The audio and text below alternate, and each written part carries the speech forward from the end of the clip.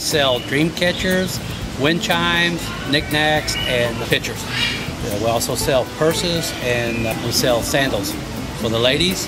If you're looking for neat items for your gifts or for Christmas, say please come and see us here at Traders Village at booth 627 and 629.